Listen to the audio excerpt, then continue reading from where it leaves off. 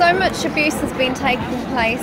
Uh, it's 2016, you know, it's not the 18th century anymore. Um, and it's shocking it, this is still happening. Right. We want to make sure that everybody is aware of this and what things can, you know, how things can change, what can we do? Hopefully people will take notice about it and say, okay, this is a serious situation in Pakistan. There's abuse, there's people being killed, there's women being tortured, murdered for things that you know should be their rights to do in society. Um, unfortunately, they don't have any rights. Um, Pakistan's policies might be all great, but you know, are they being implemented? Can people go to the police? You know, being say, you know, thinking, okay, we're going to be safe going there. So these are the issues that we think need to be highlighted and someone to take notice, and that's why we're here today for people to notice, notice things, and hopefully, when they do, they will start doing something about it. Pakistan obviously had a women prime minister. Yes. Does did that not, you know, Benazir Bhutto, many years? Yes. So did that not improve the situation of women in that country as a whole? The fact they elected the woman as their leader? Of course, I mean she's been a great role, role model for everyone, um, and you know Pakistan should be really, really proud of it. However, you know these things are still happening, um, whether in big, large cities or in small villages. So obviously there is still uh, a lot to be done. There's still education, you know, that needs to be emphasised on these things. Um, hopefully we can make a change. Have laws such as the Hudud Ordinance have a particular effect on women having been passed? Have they made their lives particularly worse than previously? Well, hopefully uh, things have changed a little bit.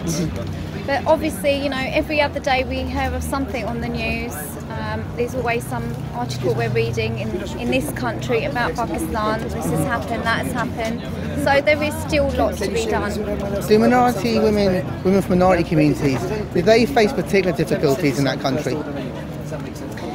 Um, to what we're listening to, the feedback we are getting, there are a lot of difficulties out there. Um, people need to access uh, authorities they can go to and feel safe.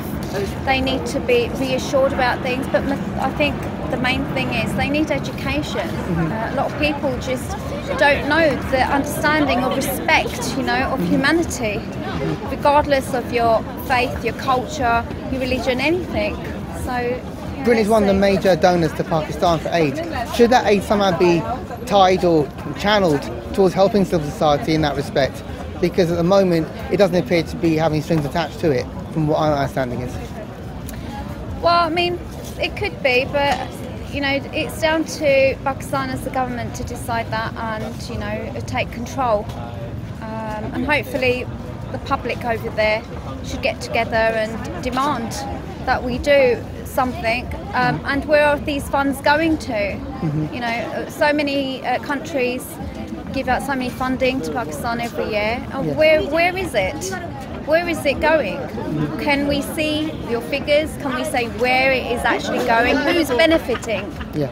Um, and then hopefully, if the public get together, then something can be done about it. You know, people need to start asking questions. They need to come out and protest like we are doing today. Um, so it's all to create awareness, I think, at the end of the day. Okay. Brilliant. Thank you very much.